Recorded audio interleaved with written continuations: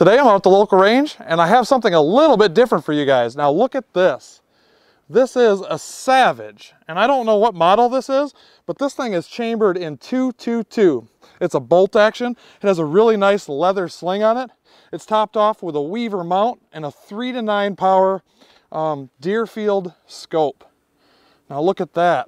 So we're, we're gonna just, we're gonna shoot it. What are my targets? We got a couple half pound uh, Tannerite targets. So we're gonna set them about 50 yards and see if we can make some boom booms. Let's load it up and have some fun. Here's the five round magazine for the uh, Savage. So right here is the difference between 223 and 222. On the left is the 222. See it's a little bit shorter so there's less powder behind it. And on the right is the 223. There's still a 22 caliber bullet, but the 222 is a little bit shorter case. I'm not sure what the velocities are exactly. This is a 50 grain projectile.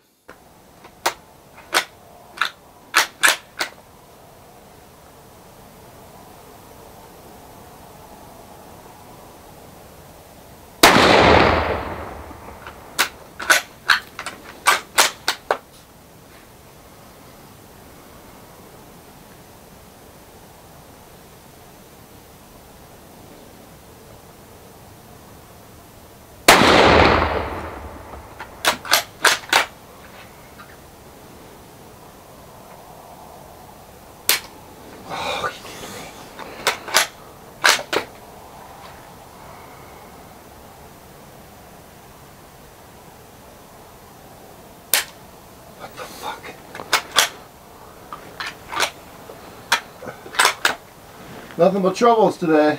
Thanks, Walmart.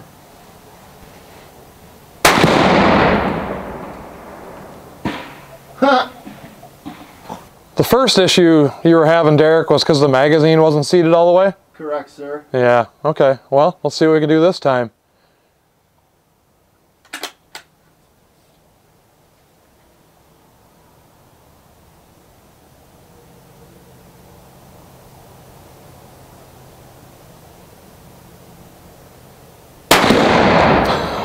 One shot, one kill. One shot, one kill.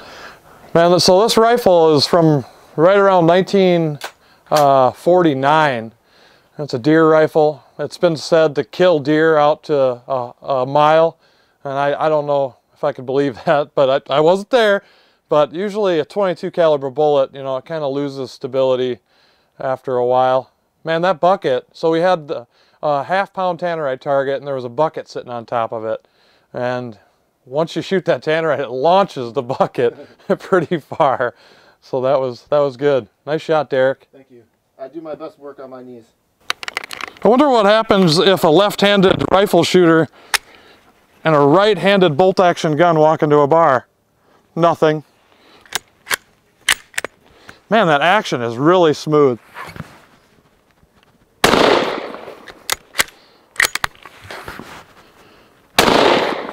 Now with the 222,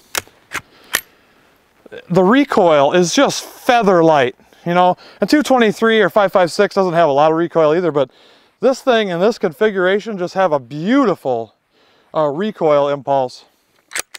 The action's really smooth, the trigger's amazing.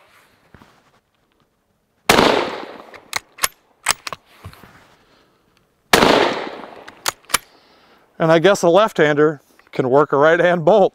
Awesome. So anyway, I just wanted to sh show you guys this rifle and you know kind of bring you along for the ride. Thanks for watching. I hope you enjoyed the video and we'll see you next time.